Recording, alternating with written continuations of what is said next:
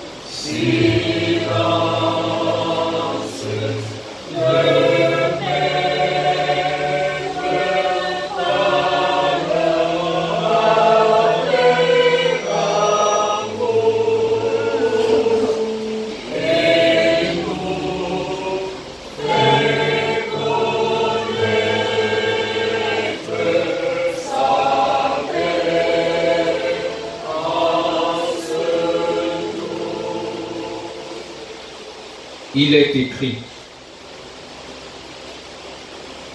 Il descendit avec eux et s'arrêta sur un plateau où se trouvait une foule de ses disciples et une multitude de peuples et toute la Judée, de Jérusalem et de la contrée maritime de Tyr et de Sidon. Ils étaient venus pour l'entendre et pour être guéris de leur maladie. Ceux qui étaient tourmentés par des esprits impurs étaient guéris. Et toute la foule cherchait à le toucher parce qu'une force sortait de lui et les guérissait tous. Alors Jésus, levant les yeux sur ses disciples, dit, Heureux vous qui êtes pauvres, car le royaume de Dieu est à vous. Heureux vous qui avez faim maintenant, car vous serez rassasiés. Heureux vous qui pleurez maintenant, car vous serez dans la joie. Heureux serez-vous lorsque les hommes vous haïront, lorsqu'on vous chassera, vous outragera et qu'on rejettera votre nom comme infâme à cause du Fils de l'homme.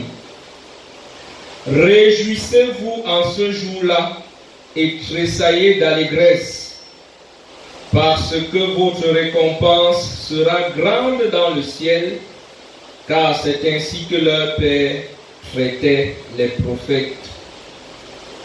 Mais, malheur à vous, riches, car vous avez votre consolation. Malheur à vous qui êtes rassasiés, car vous aurez faim. Malheur à vous qui riez maintenant, car vous serez dans le deuil et dans les larmes. Malheur lorsque tous les hommes diront du bien de vous, car c'est ainsi qu'agissait leur Père à l'égard des faux prophètes. Amen.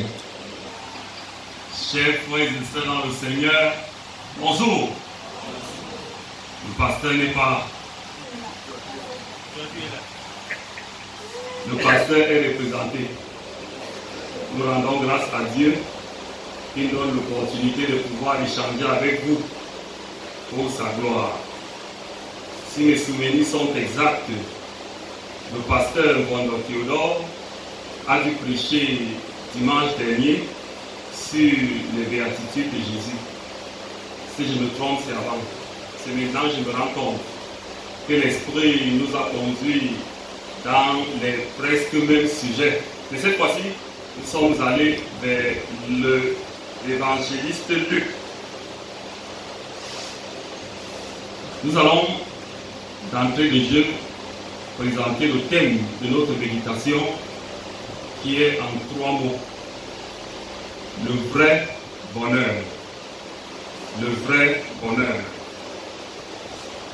Le bonheur est l'une des choses que l'homme recherche sans relâche dans le monde. Il veut vivre dans le bonheur et pour le bonheur. Il se trouve que le monde dans lequel nous vivons nous présente parfois tout le contraire.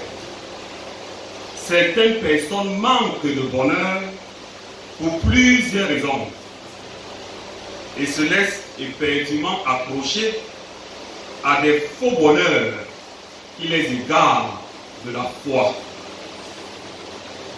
Le texte de Luc 6, versets 17 à 26, que nous venons de suivre la lecture, constitue un support susceptible de ramener à la tête du vrai bonheur toute personne qui le désire.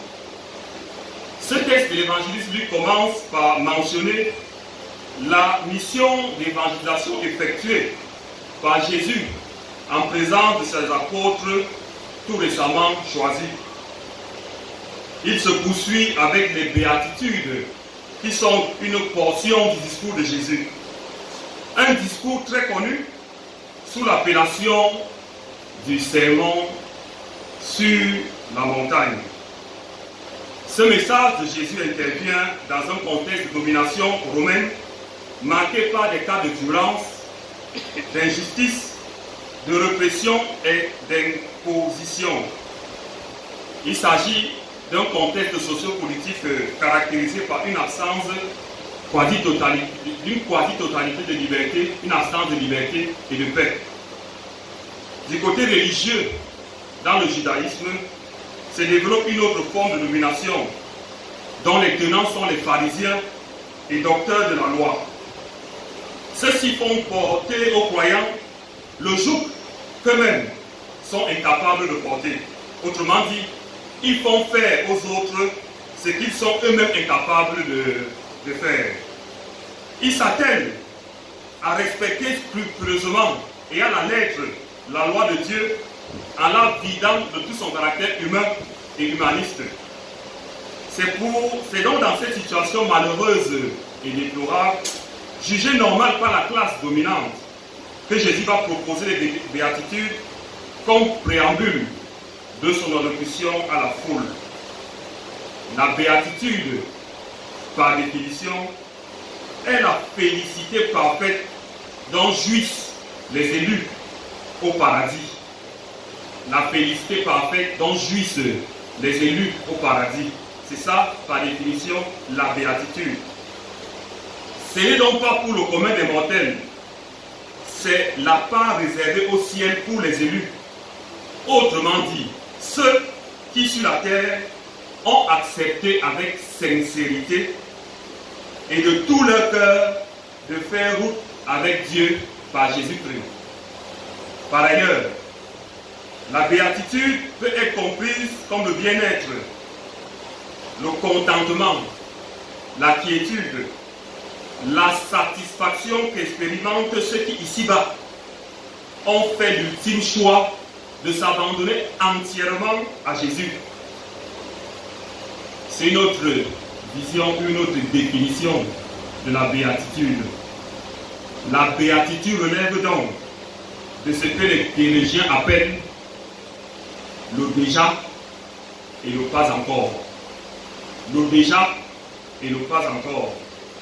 Qu'il s'agisse de la première définition qui attribue à béatitude un sens purement eschatologique, ou de la deuxième définition qui renvoie au temps présent, il est toujours question, dans l'un ou l'autre cas, de bonheur, mieux de vrai bonheur.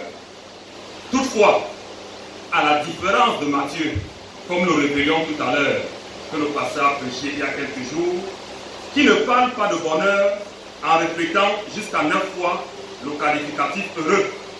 Matthieu 5, versets 3 à 11.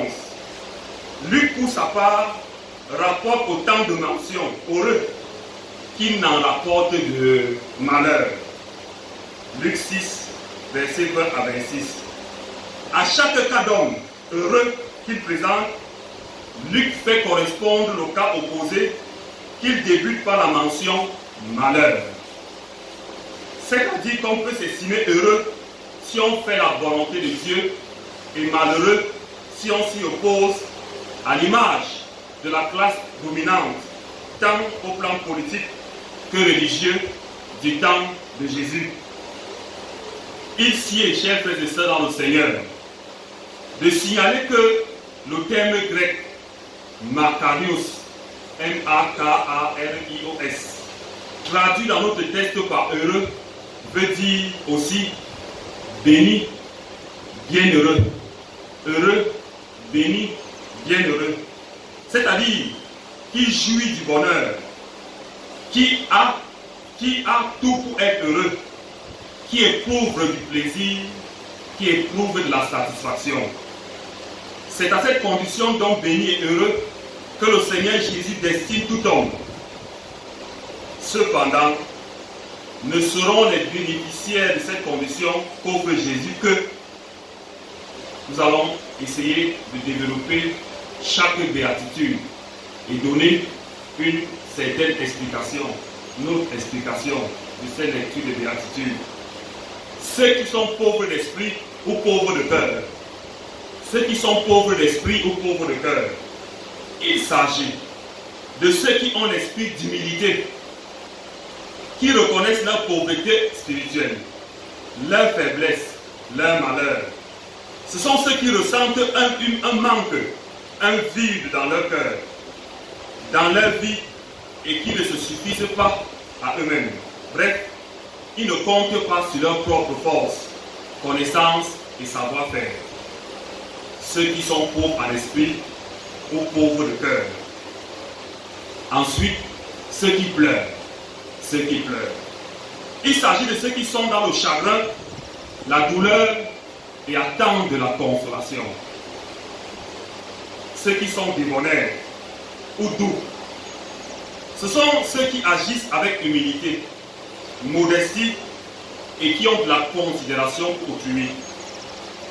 Ils ne sont pas une pierre d'achoppement pour autrui. Ils sont bienveillants, généreux et jamais égoïstes et orgueilleux. Ceux qui sont miséricordieux et compatissants, c'est-à-dire ceux qui sont sensibles aux besoins des autres et leur viennent en aide. Ceux qui ont le cœur pur sont ceux qui s'abstiennent de mener une vie de péché. Ils sont intègres et s'appliquent à la droiture.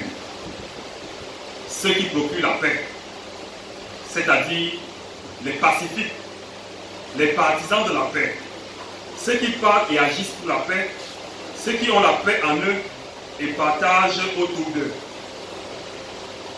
Ceux qui sont persécutés pour la justice et à cause de Jésus. Il s'agit de ceux qui, à cause du bien et de la justice qu'ils visent à sauvegarder, se retrouvent dans les épreuves. C'est le cas de nombreux chrétiens qui, à cause de leur bonne volonté de faire triompher la justice que prône l'Évangile, se retrouvent dans des situations de détention et de persécution de tout genre. À l'époque de notre Seigneur Jésus, nous la vivons encore de nos jours, pas de manière visible ou palpable dans notre pays, mais beaucoup de chrétiens dans le monde, en Asie, souffrent parce qu'ils prononcent, ils proclament le nom de Jésus. C'est de cela qu'il s'agit, ceux qui sont persécutés pour la justice à cause de Jésus. En définitive, voilà énuméré autant de catégories de personnes auxquelles, dans son amour, Christ réserve le bonheur. Voilà les personnes à qui Christ réserve le bonheur. La question que vous posez certainement, comment se fait-il que nous sommes dans une situation qui nous étreint, qui nous met en difficulté, à savoir la COVID-19, et que quelqu'un vienne prêcher en disant il faut attendre le bonheur bientôt, alors qu'il y a des cas, il y a des faits qui sont là que nous devons vivre. Oui, ce n'est pas par hasard que l'Église a pensé, en ne s'attendant pas à la COVID-19, que le thème de l'année soit EPC et l'humilité. C'est dans l'humilité qu'on peut arriver à cela, sans toutefois, sans toutefois mettre de côté les réalités qui sont là. Nous devons, face à la difficulté actuelle que nous traversons, chacun ce qui le concerne, quelqu'un le disait hier à l'ACH, les temples n'ont plus attiré de gens, ils ont, été, ils ont été fermés pendant longtemps et les gens sont restés chez eux. Ils font face à la calamité, ils font face à la pandémie, ils font face au mal. Mais ils oublient qu'il y a cette béatitude que le Seigneur nous a confiée et qu'il continue encore à nous confier. Et notre rôle aujourd'hui, c'est faire ça au Seigneur, c'est d'aller vers eux pour leur dire que le Seigneur n'a pas changé. Le Seigneur est le même. Les béatitudes qui étaient jadis sont les mêmes aujourd'hui et le seront encore demain. Nous n'avons pas à nous décourager. Nous avons énuméré donc les, personnes auxquelles, dans son amour, Jésus célèbre le bonheur, réserve le bonheur, dont nous faisons partie, et beaucoup d'autres qui ne sont pas ici aujourd'hui. Toutefois, il nous semble que de toutes les qualités requises pour bénéficier de la béatitude comme le Seigneur, il y en a une qui est prioritaire et déterminante pour tout le reste. Il s'agit d'accepter l'abaissement qui consiste à reconnaître son manque de quelque chose qui nous est inaccessible dans la grâce et la miséricorde de Dieu. Bien-aimé dans le Seigneur, Jésus nous veut heureux. Jésus nous veut heureux. Il souhaite nous accorder le véritable bonheur, pourvu que nous reconnaissons en toute humilité notre manque, notre malheur, et que nous tournions en toute franchise vers lui. Le Seigneur veut notre bonheur. Nous avons le bonheur si nous sommes avec le Seigneur. Tournons-nous simplement vers lui. Ne faisons plus semblant. Un pied dehors, un pied dedans. Mettons tous nos pieds dedans. Mettons tous nos pieds dedans.